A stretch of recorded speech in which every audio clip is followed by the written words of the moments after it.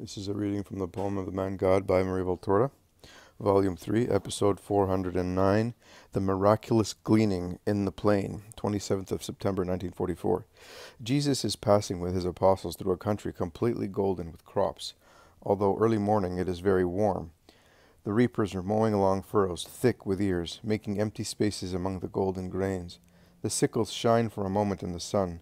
They disappear among the tall ears. They reappear for a moment on the other side, and the sheaf bends and lies down on the earth, warmed by the sun, as if it were tired of standing up for so many months. Some women follow the reapers, tying the sheaves. The whole country is busy at this work. The harvest has been very good, and the reapers are overjoyed. Many men, when they are near the road along which the apostolic group passes, stop working for a moment, leaning on their scythes and wiping their perspiration, and they look. The women binding the sheaves do the same. In their light clothes, their heads covered with a white cloth, they look like flowers emerging from the earth deprived of the corn poppies, cornflowers, daisies. The men, in short gray or yellowish tunics, are not so showy. The only light article they wear is a piece of cloth tied to their heads with a cord and hanging over their necks and cheeks. Their tanned faces, framed by the white cloth, seem even darker. When Jesus sees that they are looking at him, he passes greeting. The peace and blessing of God be with you. And the others reply, May the blessing of God come back to you, or more simply, also with you. Some, who are more talkative, interest Jesus in the harvest, saying, It is very good this year. Look at these well shaped ears and see how thick they are in the furrows. It is hard work to cut them, but it's bread. Be grateful to the Lord, and you know that one must show one's gratitude not by words, but by deeds. Be merciful in your harvest, thinking of the Most High, who mercifully granted dew and sunshine to your fields, so that you might have a plentiful crop. Remember the precept of Deuteronomy. When harvesting the wealth given to you by God, think of those who have none, and leave them some of yours. It is a holy prevarication, as it is, as it is charity for your neighbor, and God sees it. It is better to be willing to give than greedy in, in gathering. God blesses generous people.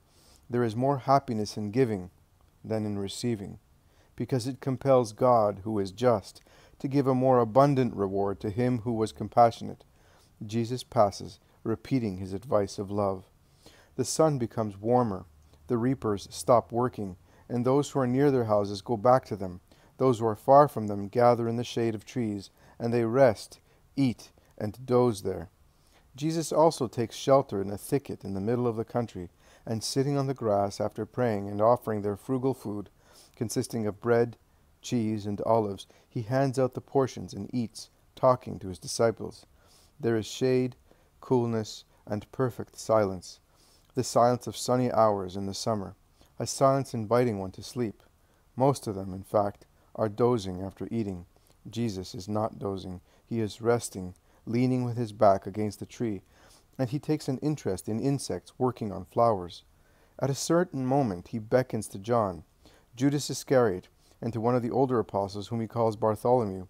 And when they are close to him, he says, Just watch the work this little insect is doing.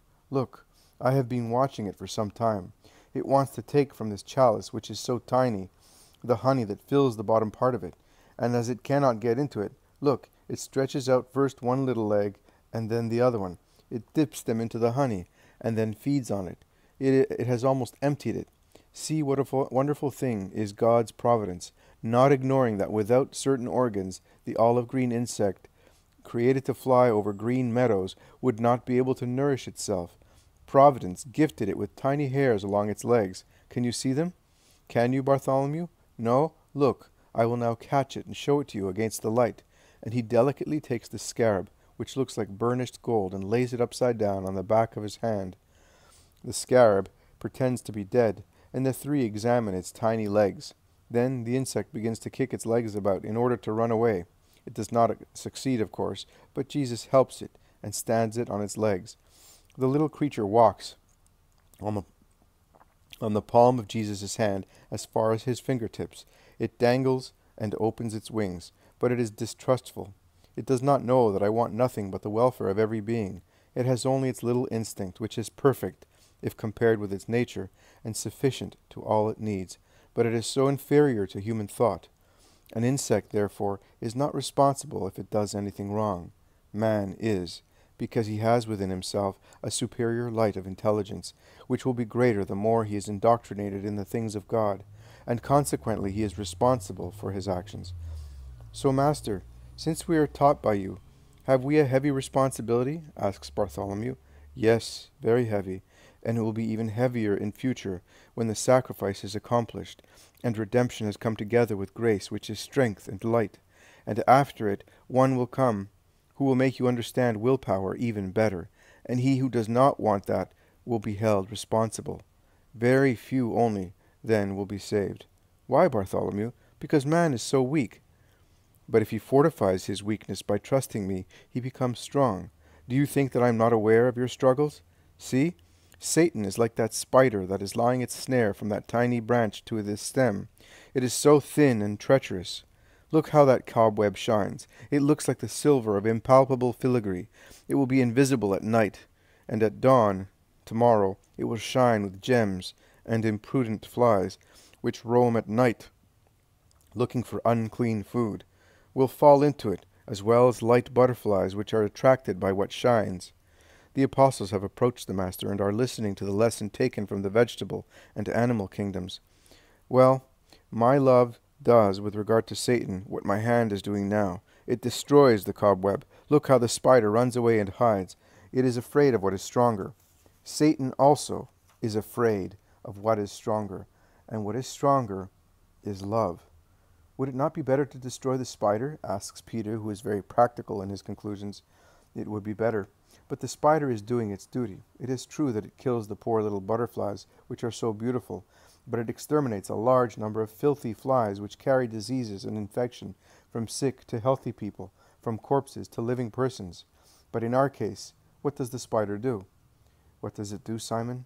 Simon also is an elderly man, and is the one who was complaining of rheumatism.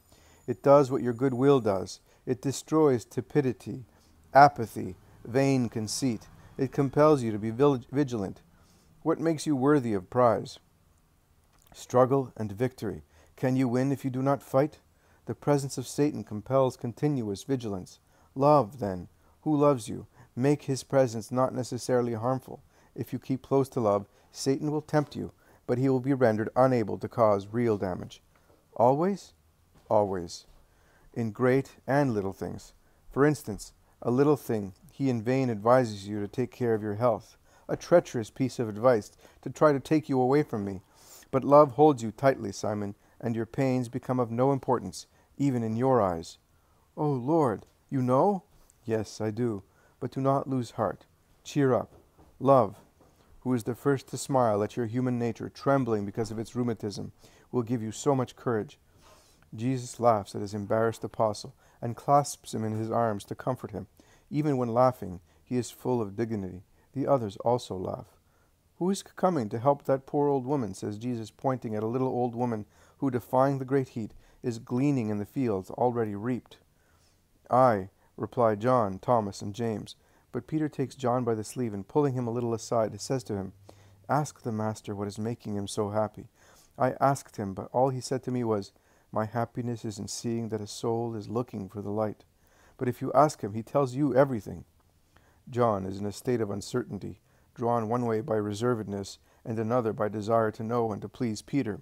He slowly joins Jesus, who is already gleaning in the field.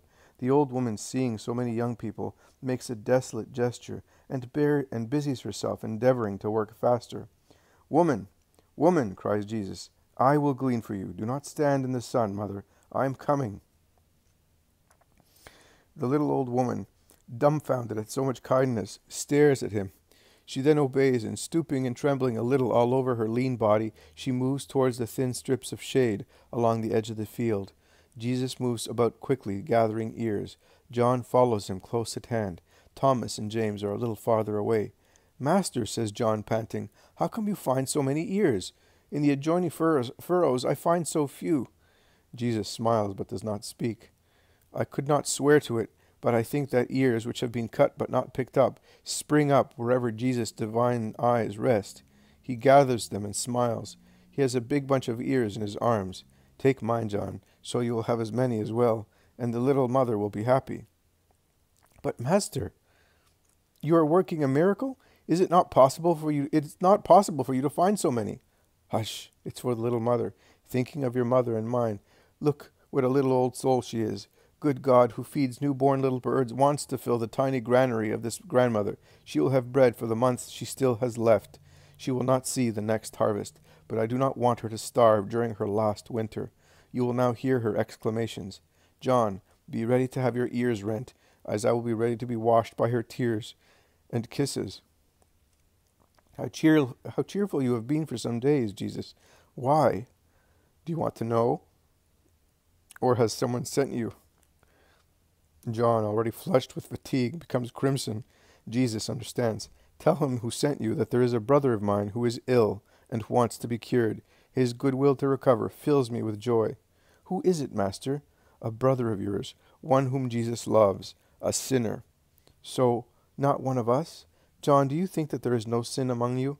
Do you think that I rejoice only because of you? No, Master, I know that there are sinners, that we are sinners too, and that you want to save all men. So, I said to you, Do not be inquisitive when there was evil to be discovered. I say the same now that good is dawning. Peace to your mother. Peace to you, mother. Here are the ears we have picked. My companions will come with theirs. May God bless you, son. How did you find so many? It's true that I cannot see very well, but these are really two big sheaves, very big. The old woman feels them. Her trembling hand caresses them. She wants to lift them, but she cannot. We will help you. Where is your house? That one. And she points at a little house beyond the fields. You are alone, are you not? Yes, how do you know? And who are you? I am one who has a mother. Is this your brother? He is my friend. From behind Jesus' back, his friend his friend makes wide gestures to the old woman, but with her veiled eyes she cannot see them. In any case, she is too intent on watching Jesus. Her old mother's heart is deeply moved. You are in a sweat, son. Come here in the shade of this tree. Sit, down. Look how you are streaming with perspiration. Dry yourself with my veil. It's worn but clean. Here, take it, son. Thank you, mother. Blessed be your mother, the mother of so good a son. Tell me your name and hers that I may mention them to God to bless you. Mary and Jesus. Mary and Jesus. Mary and Jesus. Wait, once I shed bitter tears. The son of my son was killed for defending this baby boy, and my son died of grief. And at that time they said that the innocent was killed because they were looking for one whose name was Jesus. Now I am on the threshold of death, and that name is coming back to me. You wept then, mother, because of that name. May that name now bless you. You are that Jesus. Say so to a poor woman who is about to die and who has lived without cursing because she was told that her grief served to save the Messiah for Israel. John doubles his gestures. Jesus is silent. Oh, tell me, is it you? You, blessing me at the end of my life? In the name of God, speak. It is I. Ah! The old woman prostrates herself on the ground. My Saviour, I have lived in expectation, and I no longer hope to see you. Shall I see your triumph? No, mother. Like Moses, you will die without knowing that day, but I will give you the peace of God in advance. I am peace. I am the way. I am life. You, a mother and the grandmother of just children, will see me in another, eternal triumph, and I will open the gates to you, to your son, to the son of your son, and to his baby boy. That baby who died for me is sacred to the Lord. Do not weep, mother. And I have touched you, and you gathered ears for me. Oh, how did I deserve such honor? Through your holy resignation, come, mother, to your house, and may this wheat nourish your soul more than your body. I am the true bread that descended from heaven to satisfy the hunger of every heart. You, Thomas and James, have joined them with their sheaf. Take these sheaves and let us go. And the three apostles, laden with sheaves, walk away, followed by Jesus and the grandmother, who weeps and whispers prayers. They arrive at the little house two small rooms, a tiny kitchen, a fig tree, and a small vineyard. Tidiness and poverty. Is this your home? Yes, it is. Bless it, Lord. Call me son, and pray that my mother may find solace in her grief, since you know what the grief of a mother means. Goodbye, mother. I bless you in the name of the true God. And Jesus raises his hand and blesses the small house. He then bends and, and embraces the little old woman. He presses her to his heart and kisses her head covered with thin white hair, and she weeps, rubbing her lips against Jesus' hands with veneration and love, and crushes me with grief, because I think of my mother, who was afraid of you, Jesus, when she saw you. Why be afraid of you, Jesus? Jesus says, Why? There are many whys in your heart after this dictation, but I will begin from the last one. The other query you have in your heart is always whether I knew that Judas would not be saved, notwithstanding that effort to save him. I knew. Why then was I happy? Because also the simple desire that was present, a flower in the barren land of Judas's heart, made the Father look benignly at my disciple whom I loved, and whom I could not save. The eye of God on a heart. What would I like except that the Father should look at all of you with love? And I had to be happy to give the poor wretch also that means to, to revive, the incentive of my joy seeing him come back to me. One day, after my death, John became acquainted with this truth, and he told Peter, James, Andrew, and the others, because I had ordered my best loved apostle, who was acquainted with the, all the secrets of my heart, to do so. He was informed, and he told them, so that everyone should have a rule in guiding disciples and believers later. The soul that after falling comes to the minister of God and confesses its error, the friend, the son, the husband, or the brother who after erring comes, saying, Keep me with you, I do not want to make mistakes any more, so that I may not grieve God and you, are not to be deprived, among other things, of the satisfaction of seeing our happiness in realizing that they are anxious to make us happy. Infinite tact is required in curing hearts. I, the wisdom, had such tact to teach everybody the art of redeeming and of helping those who are redeeming themselves, although I knew that in the case of Judas it was useless. And now I say to you what I said to Simon of Cana Cheer up, and I clasp you in my arms to make you feel that there is someone who loves you. My hands give punishments, but they give caresses as well, and my, lip, my lips speak severe words, and also words of satisfaction, and the latter are more numerous, and uttered with so much more joy. Go in peace, Mary you have not grieved your Jesus, and may that be your comfort.